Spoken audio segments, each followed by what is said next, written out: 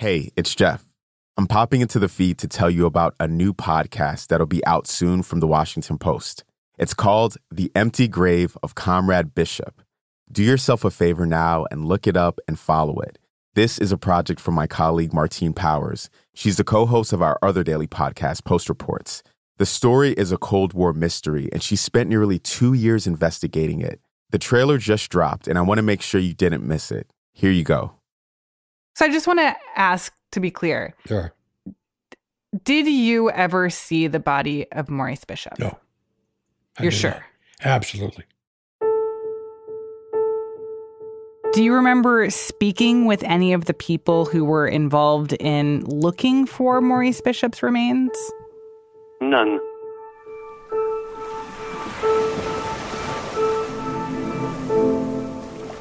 There's a mystery on the Caribbean island of Grenada that goes back 40 years. It's about the revolutionary leader who was executed in a coup in 1983.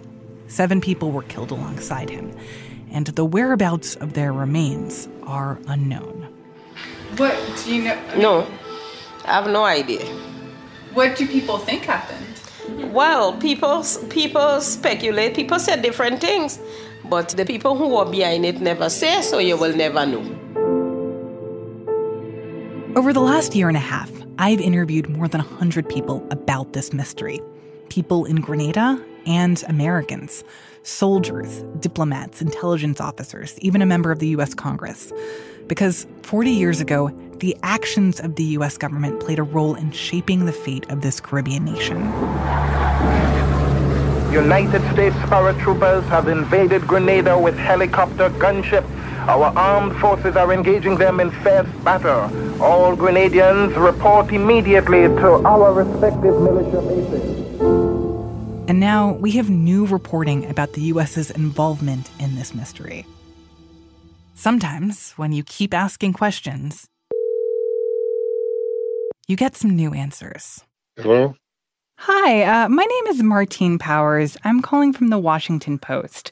I'm calling because I'm trying to find a forensic pathologist who was in Grenada in 1983. Is that you? Yes, it is. I've been involved in a lot of investigations, forensic investigations, and criminal investigations, and I can tell you, in my words, this thing stinks. The Empty Grave of Comrade Bishop is a new investigative podcast. The first two episodes launch on October 23rd. After that, subscribers of The Washington Post can get early access to new episodes each week on Apple Podcasts. Wherever you listen, make sure to follow The Empty Grave of Comrade Bishop right now.